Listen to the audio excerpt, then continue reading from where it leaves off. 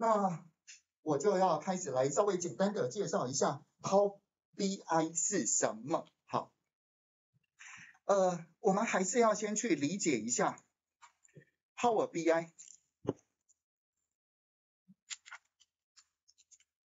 好，那我们那我们几乎就是，例如说这个 Power BI 嘛，好，就直接按 Enter，你就可以到这个微软的 Power BI 的主要的一个网页。好，它最重要的功能是在做资料视觉化。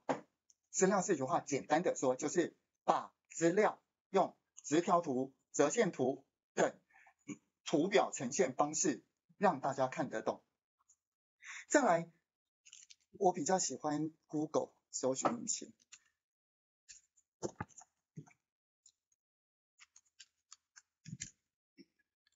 好，那 Power BI 它最重要的五个字是资料视觉化。那你会做资料视觉化之后呢，你可能还要知道资料视觉化的另外五个字是互动式报表跑去哪里了？好吧，那呃，我稍微简单的讲一下什么叫互动式报表。像这边这个是一个仪表板，在这个仪表板上面呢，我们可以看到有三张视觉化图表，有横条图、圆形图、直条图。好，当然不管是横条或直条，我们都可能我会讲成 bar 图，因为我觉得英文的描述会更贴近，更贴近。呃，大家的一个理解，好，bar b a r，那这个这个我们叫环形图，好，当你点任何一个 bar 图上面的任何一个元素，例如说点选最长的这一个，然后接下来环形图跟另一张 bar 图会整个联动，就直接马上变给你看，这样子的话可以刺激我们视觉看到之后有一些推敲。或者是想法，好，以观察现象，这就是互动，互动式报表。那不是只有点这一张的其中某一个因素哦，是随便任意一张你都可以点点看。所以今天早上我第一件事情要先教你如何画图，第二件事就要教你如何互动。那你是不是也应该要知道 Power BI 如何下载？所以。你就在，例如说 Google 搜寻引擎，然后直接在这个地方输入 Power BI 下载。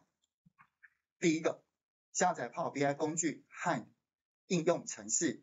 建议您真的在看这个中文字的时候，你稍微也要看一下有没有微软。好，请点这个下载 Power BI。那其实 Power BI 它有手机版，这这个 Power BI 行动版，所以它下面是不是放了这这几个图示？各位应该知道，就是你要拿起手机到你的 APP 下载的地方，可能是呃，如果你用 iPhone 就到 App Store，如果你是在这个嗯一般的 Android 系统的手机，就到 Google Play 这边来去做下载。那我们现在因为是要安装的是这个电脑版，接下来呢，这边下面是不是有两个下载，有两个超连接，一个显示下载，一个显示进阶下载选项，请点进阶下载选项，然后接下来你看到的一定是英文的画面，不要紧张，稍微拉下来一点点，这因为这图太大了。这个图太大了，稍微拉下一点。他就说，请选择你要下载的语言。好，那麻烦请你切换一下，切换到 Chinese Traditional。就是很多同学就是在刚刚那个地方，他去下载了，就直接点了 Download。好，然后这边你再点这个下载。好，这边有两个，只要只要使用这个六十四位元就好，所以请选这个六十四，后面有一个六十四。好，点选下一步。就开始下载了。